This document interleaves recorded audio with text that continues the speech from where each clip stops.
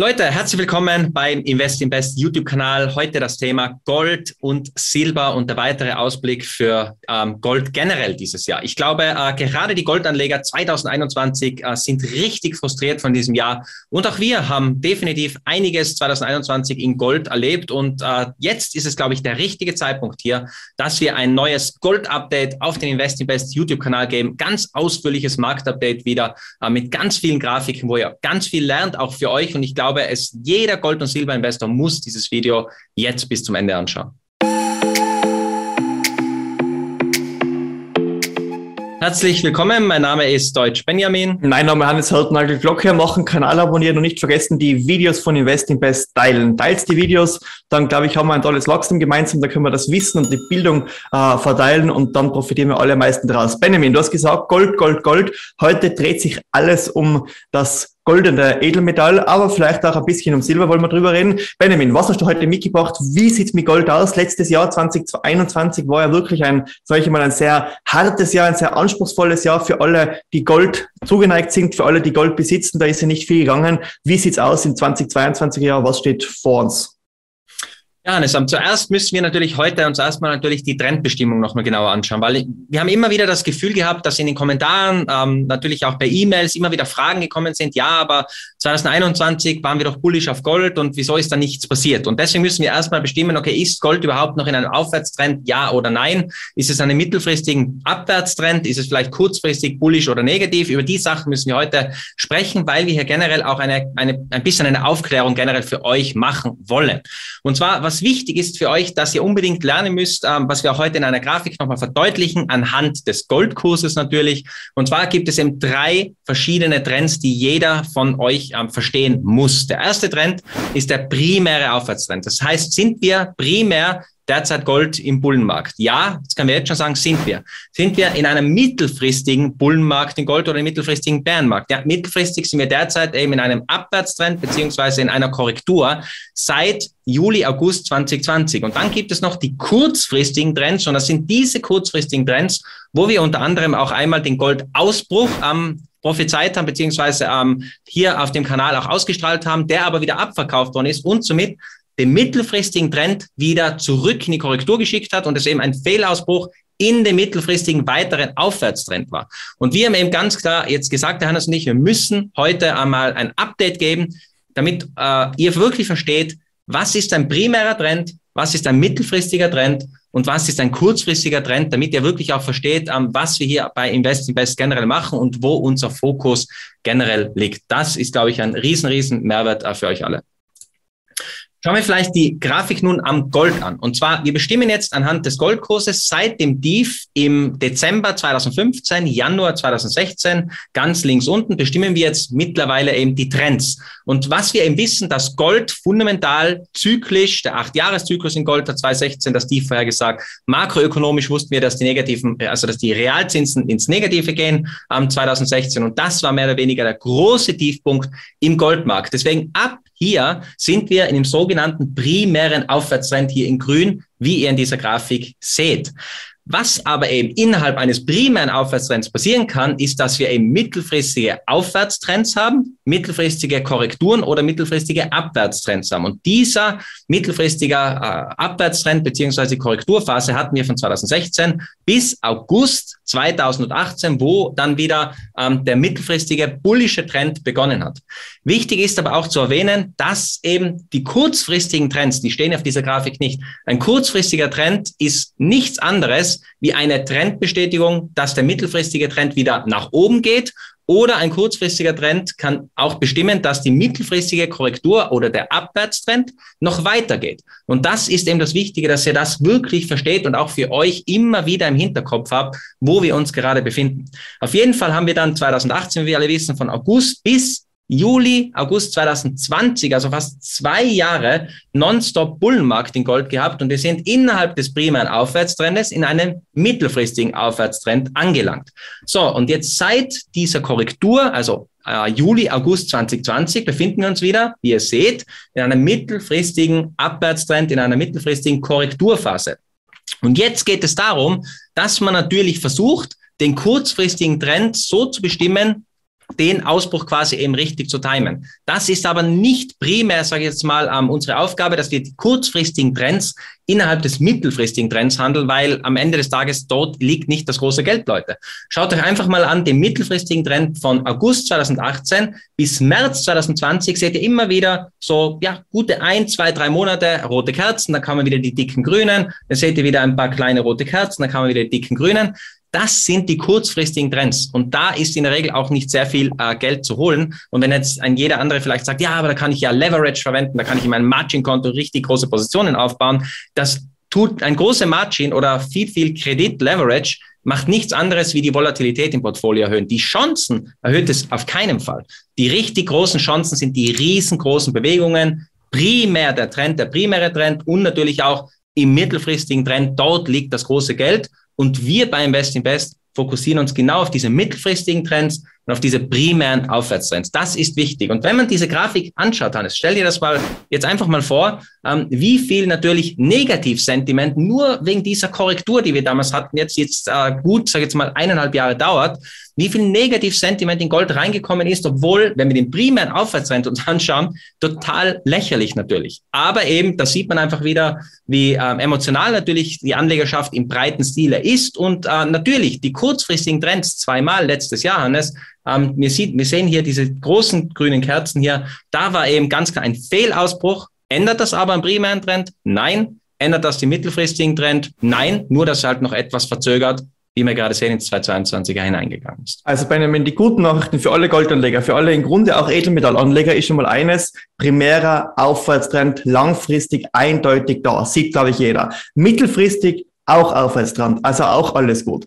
Nur der kurzfristige Zeithorizont eben, das ist da, wo man, wo es nach unten gegangen ist und dort will jetzt wieder jeder die perfekte Chance erhaschen, um dann einzusteigen. Aber ich sage mal, wenn man den großen Aufwärtstrend, wenn man jetzt diese großen Kerzen sich anschaut, wenn man diese großen Linien sich anschaut, dann ist ja an und für sich eigentlich relativ vernachlässigbar, egal, ob man jetzt, wo man da in den kleinen, in, in, in mittel, in kurzfristigen äh, Trend dann irgendwo einsteigen kann, oder? Das ist dann relativ egal. Und viele Menschen, glaube ich, geht es einfach immer so, die sind dann getrieben eben irgendwo und wollen die Chancen nicht verpassen, wollen diesen großen Umbruch, die Chancen jetzt alle nützen. Aber ich sage mal, äh, es kommt da, glaube ich, nicht darauf an, dass man wirklich den perfekten, tiefsten Punkt erwischt, sondern einfach, dass man bei der großen Welle dabei ist und eben nicht so viel handelt, nicht so viel tradet, rein, raus, sondern eben einfach die große Welle reitet. Gerade Hannes bei den Goldmineninvestoren ist äh, das Verständnis eines der allerwichtigsten Dinge überhaupt. Denn natürlich, wenn die, wenn der Goldpreis steigt, wissen wir, dass die Goldminen deutlich mehr anziehen, äh, wie der Goldpreis selber. Wir wissen auch, dass Silber deutlich mehr anzieht der Goldpreis, das Doppelte nur so nebenbei. Und wenn wir aber in diese große Korrektur übergehen, beziehungsweise wenn wir in eine Korrektur übergehen, in eine mittelfristige Korrektur, dann ist das für die Goldmine natürlich viel schlimmer, wie es zum Beispiel für den Goldpreis ist oder auch viel schlimmer für Silber, wie es für den Goldpreis ist. Deswegen muss man einfach ganz klar wissen, äh, wenn man primär davon ausgeht, dass Gold in einem Aufwärtstrend ist, und das ist es, wir sind im primären Aufwärtstrend, und diese mittelfristige Korrektur ist schon sehr alt, muss man ganz klar sagen, dass die schon sehr, sehr alt ist, und wir erwarten für 2022 eine recht positive Entwicklung. Aber wie es jetzt im Goldpreis wirklich weitergeht, das schauen wir uns jetzt in den nächsten Folien auch an. Es war uns nur sehr, sehr wichtig, Hannes und mir, dass wir das wirklich nochmal klarstellen, ähm, wie generell die Trendbestimmung abläuft und wo wir uns gerade in Gold befinden. Für euch alle vielleicht ja, Beruhigungstablette kann man es nennen, aber einfach wirklich ähm, das, das Wissen zu haben, wo befinden wir uns überhaupt. Und jetzt schauen wir nun weiter, ähm, da ja gestern auch die FED-Sitzung war, schauen wir nun an, ähm, wenn die Zentralbank generell auf einer jährlichen Basis, das bedeutet die, die jährliche Veränderung, wenn die Zentralbank Geldmenge äh, der Federal Reserve, wenn die fällt beziehungsweise langsamer steigt wie zuvor, es geht immer um die Geschwindigkeit des Wachstums dieser, dieser Bilanz, ähm, wenn die eben nicht mehr so schnell wächst, dann ist das in der Regel auch nicht so gut für den Goldpreis. Also auch hier sehen wir schon eine relativ äh, gute Korrelation, natürlich nicht eine genaue Korrelation, aber eine relativ gute Korrelation, dass man sieht, wenn eben die Fed richtig Gas gibt und Tapering durchzieht, das bedeutet, die Zentralbankbilanz wirklich negativ wird auf eine jährliche Veränderung, dann ist das auch nicht gut für den Goldpreis und dann ist das ähm, richtig, richtig schlecht. So, und jetzt wissen wir, bis dato hat der Markt sehr viel schon eingepreist von dieser Zentralbankreduzierung. Bis dato ist noch nicht viel passiert, aber der Markt preist derzeit sehr viel ein. Also von dieser Seite muss man sagen, wenn die FED hier richtig Gas gibt und wirklich die Bilanz abbaut, was wir nicht glauben, über die nächsten, sag ich jetzt mal, zwölf ähm, Monate, dass es wirklich durchziehen, äh, dann ist das sehr, sehr negativ für den, Gold, für den Goldpreis. Wir glauben aber, dass die Federal Reserve vielleicht einen Fehler macht, beziehungsweise innerhalb der nächsten Monate einen deutlichen äh, Fehler macht und eben vielleicht äh, bei der Bilanz zu viel rumschraubt. Und das könnte dann nicht nur ähm, für Gold nochmal kurzfristig schlecht werden, sondern wirklich für alle ähm, Assets da draußen, für den Aktienmarkt, für den Anleihenmarkt, natürlich auch für die Kryptowährungen, für alles. Und das könnte ähm, vielleicht sogar das Ziel der Notenbank sein, um die Inflation etwas abzukühlen, weil am besten geht das, indem man einfach den Rohstoffmarkt runterbekommt und somit den Druck von der ersten Stelle, von der Wurzel in der ganzen Wertschöpfungskette abnimmt. Das könnte das Ziel der Notenbank sein. Das werden wir in den nächsten Monaten auf jeden Fall sehen. Wenn wir nun jetzt ähm, die Realzinsen äh, invertiert gegenüber den Goldpreis stellen, sehen wir natürlich auf der linken Seite minus 0,64 und rechts sehen wir den Goldpreis. Aber wir wissen, umso negativer der Realzins wird, umso besser ist es für den Goldpreis. Wenn aber der negative Realzins eher Richtung Null geht, also auf der linken Seite Richtung Null runtergeht, dann ist das für den Goldpreis eher negativ. Wenn die Zentralbank hier richtig Gas gibt jetzt äh, und wirklich, ich sage jetzt mal, versucht, diese Bilanz abzubauen, die Zinsen wirklich ähm, aggressiv erhöht und der Markt vielleicht noch mehr Zinserhöhungen kurzfristig einpreist, dann könnte auch das kurzfristig gesehen für den Goldpreis noch einmal negativ sein. Wenn wir uns allerdings die aktuell die Holdings anschauen in den ETFs, in allen Gold-ETFs auf dieser Welt, ähm, das mittlerweile das Volumen hier seht ihr hier auf der Seite, ähm, wenn wir dieses uns gegenüber den Goldpreis anschauen, sehen wir, dass eben die Flows in ETFs extrem viel auch ausmachen über die Goldpreisentwicklung mittlerweile, weil eben diese nordamerikanischen ETFs auch einen riesen Einfluss haben auf die Preisentwicklung. Und da haben wir jetzt einen Abtick gesehen, also es ging stark nach oben äh, letzte Woche mit, mit, mit den Flows in den Gold-ETFs ist kurzfristig gesehen, könnte das positiv sein. Nichtsdestotrotz sind wir überhaupt noch nicht in einem, ähm, sage jetzt mal, Bereich, wo der Goldpreis schon ausgebrochen ist. Wo der Goldpreis ausbricht, da schauen wir uns dann in den nächsten Grafiken an. Und das sind diese zwei wichtigen Levels für alle, die jetzt bis äh, hier dran geblieben sind. Das hat sich rentiert.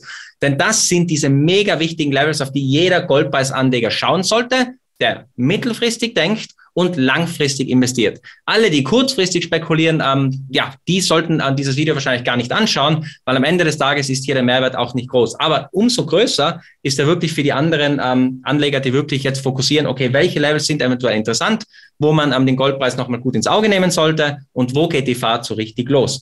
Also eine mittelfristige Trendbestätigung, ein Ausbruch hätten wir hier, wenn wir irgendwo im Bereich von 1800 80.885 Dollar auf Monatsbasis ähm, schließen würden. Das würde dann diesen mittelfristigen Trend zurückbringen in einen mittelfristigen Aufwärtstrend. Und auf der Unterseite, wenn wir nochmal eine kurzfristige Korrektur aufgrund der aggressiven FED, aufgrund ähm, der negativen Realzinsen, die zurück ins Positive kommen, wenn wir die nochmal sehen sollten, könnten wir Goldpreise im Bereich von 1096 bis ähm, 1700 bis 1710 Dollar nochmal sehen, um anschließend hier ähm, ein mittelfristiges äh, Korrekturtief zu machen. Davon gehen wir aus, um anschließend in einen Aufwärtstrend, mittelfristigen Aufwärtstrend in Jahre 2022 hineinzukommen. Auch unten, Hannes, hier ähm, die technischen Indikatoren sprechen dafür, dass wir in der ähnlichen Situation sind wie Juli, August 2018. Wir sind extrem ähm, überverkauft, beziehungsweise hier in den Bolliger-Bändern. Wenn wir uns auch die Performance anschauen vom Goldpreis in dieser Grafik gegenüber den S&P 500, sehen wir auch, dass wir auf demselben Niveau eigentlich sind, wo wir 2018 schon war, wo der Goldpreis sein Tief gemacht hat und ab dorthin oder von dort weg den Aktienmarkt auf breiter Basis outperformt hat. Und das ist ja eigentlich das Wichtigste, dass man nicht zuschauen muss als Goldanleger, wie der Aktienmarkt fliegt und die ganzen Tesla-Millionäre und äh, Nvidia-Millionäre und Microsoft-Investoren hier ähm, das große Lachen haben und der Goldpreiseinleger in einer schweren Depression verfällt.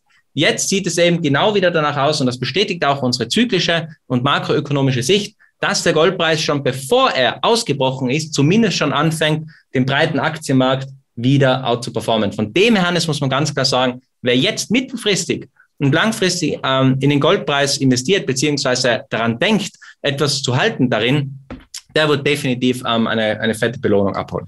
Benjamin, das sind sehr rosige Aussichten für alle Goldfans. Eines muss man ganz klar sagen, in Zeiten, äh, in einer gewissermaßen sehr pervertierten Zeit, sage ich einmal, wo das Weltwirtschafts Forum dasteht und auf Folien präsentiert in Vaccine We Trust, äh, da muss man ganz klar sagen, da sollte man vielleicht wieder auf diese alten Werte, auf diese beständigen Werte irgendwo zurückgreifen können, als Investor, als auch als Mensch, äh, als Ganzes her. Und ich sage dir eines, Benjamin, ich habe da immer meine Münze, meine, in, äh, meine Liberty-Münze von, von in den USA, meine Goldmünze bei mir, die habe ich immer an meinem Arbeitsplatz liegen, auch aufgrund irgendwo, weil sie einfach diese Beständigkeit irgendwo widerspiegelt. Und eines sage ich dir ganz klar, da steht drauf, in Gott we trust.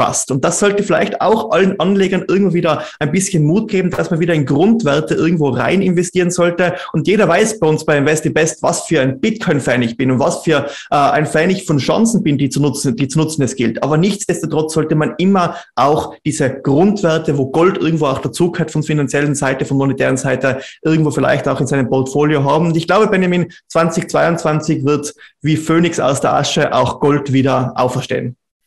Ja, Hannes, und es gibt einfach hier von der, von der Investorenseite einfach jetzt Geduld. Es braucht viel Geduld, weil die 1880 auf Monatsbasis und natürlich die 1700 auf Monatsbasis da unten sind einfach gute 10 Prozent, in der wir uns jetzt befinden, im Niemandsland, wie ich es auch so gern nenne. Und deswegen in dieser Zeit gilt es einfach Ruhe zu bewahren und gar nicht viel zu tun. Allerdings, wenn wir in einen Bereich von anderen kommen, wird es wiederum sehr, sehr interessant werden. Deswegen freue ich mich jetzt schon auf die nächsten Monate ähm, in Gold und Silber und Goldminen, Hannes, weil es wird richtig spannend.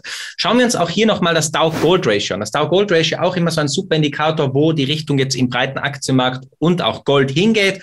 Denn wir sehen, dass wir im Oktober 2018 das hoch gemacht haben im Dow Gold Ratio mit 22 Unzen Gold für einen Dow Jones. Dann im August 2021 das nächste hoch gemacht haben von 20, äh, circa 20,88, also 21 Unzen Gold ähm, für einen Dow Jones. Und mittlerweile sind wir schon wieder bei 18,5 Unzen für einen Dow Jones. Das bedeutet, real gesehen wertet der Aktienmarkt jetzt gegen Gold schon wieder ab, genau im ersten Quartal 2022. Das heißt jetzt nicht, dass der Goldpreis sofort ausbrechen muss. Es kann leicht noch sein, dass wir diesen letzten kurzfristigen günstigen Abverkauf nochmal im Bereich 1700 bekommen.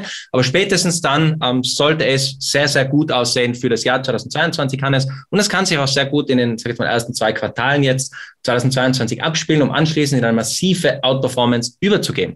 Für alle Silberinvestoren, selbstverständlich haben wir auch für euch heute was mitgebracht. Ganz, ganz wichtig. Auch Hannes und ich sind riesen Silberfans. Ähm, primär natürlich, ähm, ich ganz offiziell kann ich auch hier sagen, habe viel, viel mehr Silber, ähm, wie zum Beispiel Gold. Und äh, die große Schulterkopf-Schulterformation, die was wir über sechs Jahre hier aufgebaut haben, also Aktienmarkt, gegen ähm, Silber sehen wir auch ganz klar eine massive ähm, rote Kerze schon im ersten Quartal, obwohl es relativ noch kurz ist.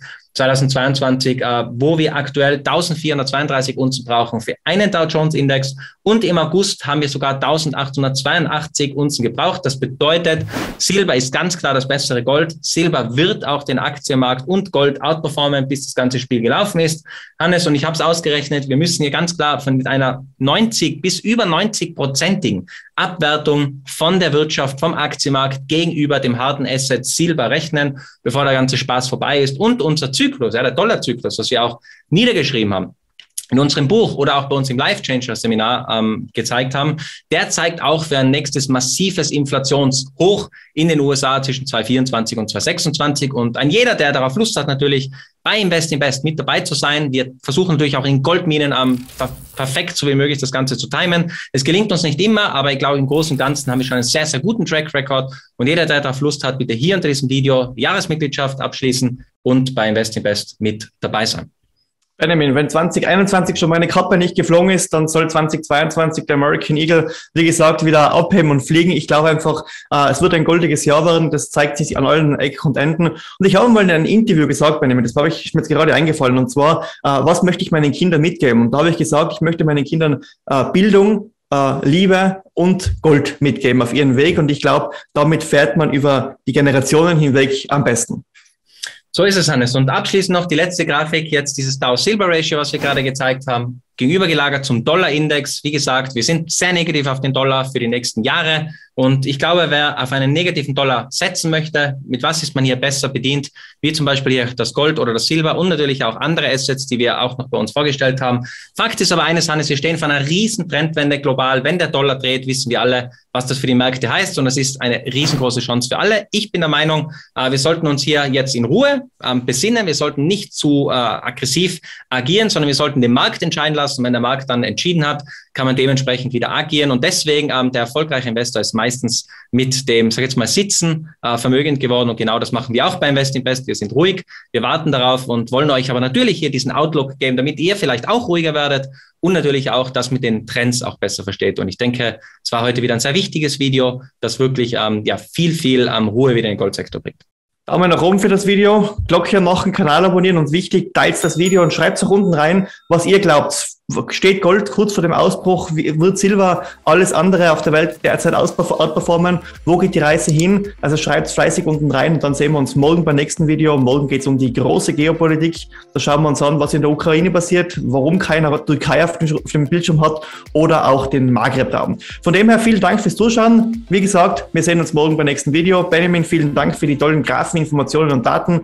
Und dann sehen wir uns, wie gesagt, mit den wichtigsten Worten zum Schluss.